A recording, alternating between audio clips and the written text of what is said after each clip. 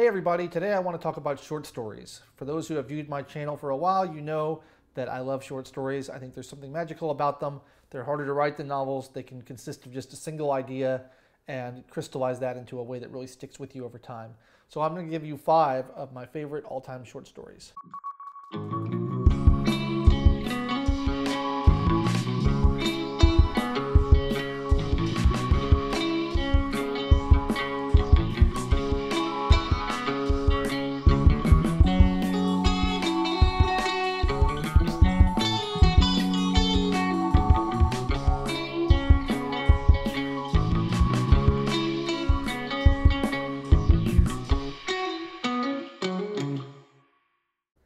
Now, I'm not going to say that these are my five favorite short stories of all time because there's so many others I could have picked. But these are five good ones, and these are five that have stuck with me for many years. Some of these I've only read once, years and years ago, and I think about them all the time. They're constantly popping into my head, and they become a part of me in a way.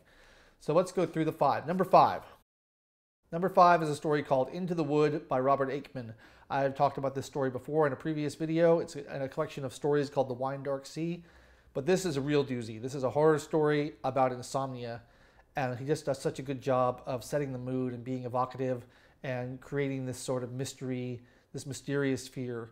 It's a really, really good horror story. It's not monsters jumping out at you. It's, it's much more psychological than that. Uh, really creepy. It really stuck with me. I like it a lot. Number four.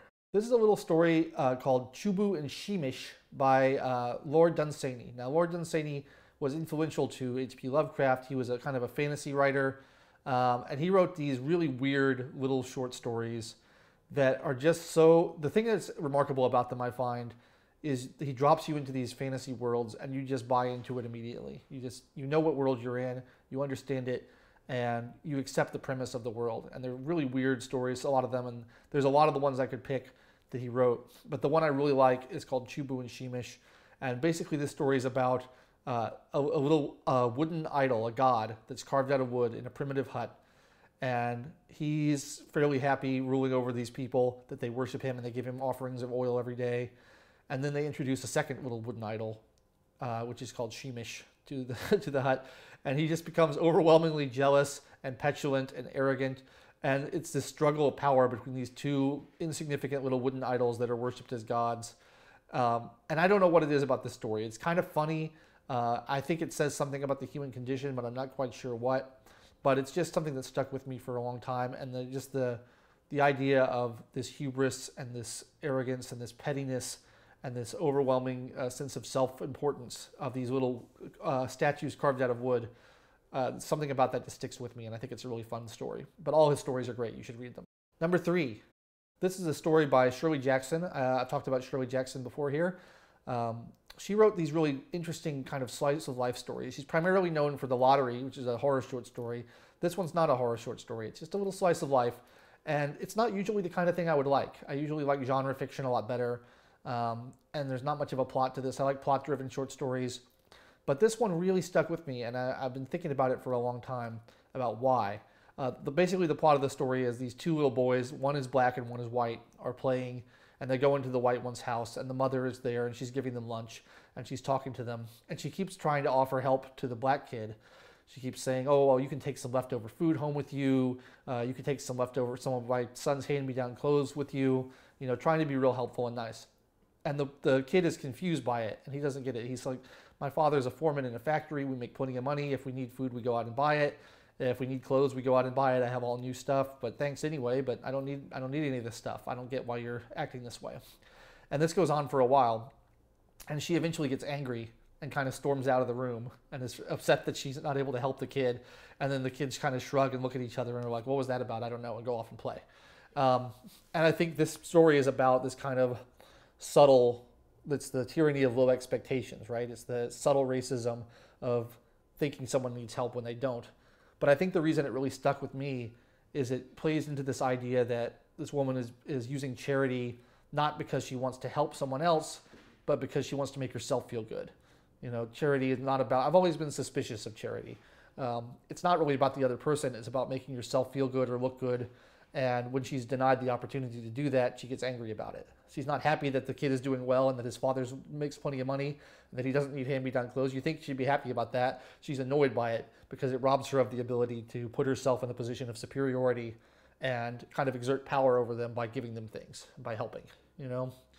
So I think that's why the story resonates with me so much. Um, it's just a great story. It's so and it's so subtle. You know, she never she never comes out and says what's really going on. It's all just revealed in the actions of the characters. And it takes some analysis and some thinking about to really get it. But I love that story. It's one of my all-time favorites. Number two.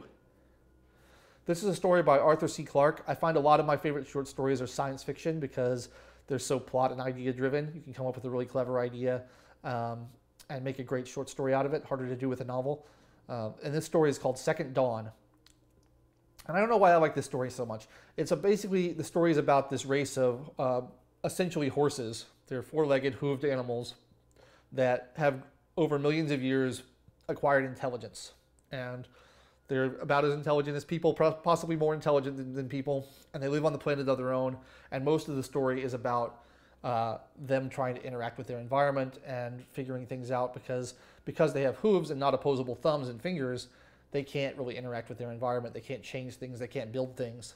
And as a result, their intelligence has developed very, very slowly over millions and millions of years. It's taken them much longer than it would have taken us to develop intelligence. Um, and at the end, they encounter this race of uh, very primitive but very rapidly evolving monkey like creatures that have hands and fingers and opposable thumbs. And they kind of form an alliance with them to try to advance together. Um, but I love the thought experiment. I think the thing I like about it is this idea what if you had uh, this idea of asking what if? What if you had a race of creatures who couldn't interact with their environment? How would their intelligence look like? How, what would they learn to think? What would happen? Um, and the idea that so much of learning comes through experimentation and through playing with things and tinkering with them with your hands. And that's how you get to a higher level. I, I just love that thought experiment. It, it, something about that story just touches me deep inside, and I, I think about it all the time. Finally, number one, uh, maybe my all-time favorite story ever. It's by Philip K. Dick, another science fiction story. It's called Paycheck. Now they made a movie out of this with Ben Affleck. It was really bad. Don't go see it. Uh, read the story instead. It's it's an amazing story. It's so clever. This is an example of the type of cleverness that I wish I had, and that I can I can't even imagine how someone would go about writing this story from scratch. The plot of the story is that uh, this engineer has gone to work for a, basically a time travel company um, and he has signed a contract that says they're going to wipe his memory after he works for them. He's going to work for them for a year, then they're going to wipe his memory and he'll get his payment. And so he won't remember what he worked on for, you know, proprietary secrets uh, for that reason. So at the beginning of the story, he wakes up after his year of service, doesn't remember any of it. He goes to get his paycheck, and instead he gets an envelope full of junk.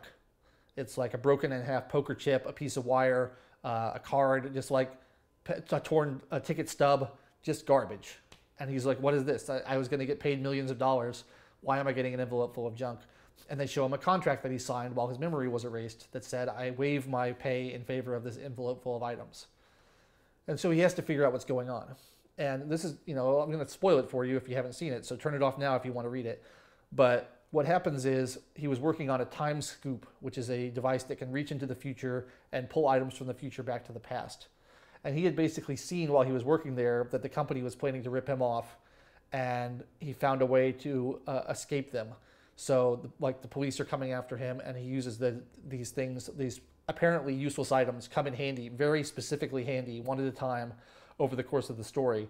And not only does he escape getting caught, but he actually manages to wheedle his way into a partnership in the company and make tons of money because he was able to foresee all this beforehand and find the, the exact right item he would need at the exact right time it's so cleverly plotted. It's just a work of genius. And so many of Philip K. Dick's stories are like that. I think he's a complete master storyteller. Uh, he has the most clever ideas I've ever seen. And I think this is my favorite short story ever. So there you have it. My five short stories that will stick with you and you will remember and you should definitely read. Um, this does not rule out other short story collections that I will give you in the future. There's lots of other short stories I could have put in here because uh, it's a, like I said, it's a style that I really like and I'll really uh, continue to read from different authors. But that's it for now. I've been Logan Albright. Thank you for watching, and I'll be back with you next week.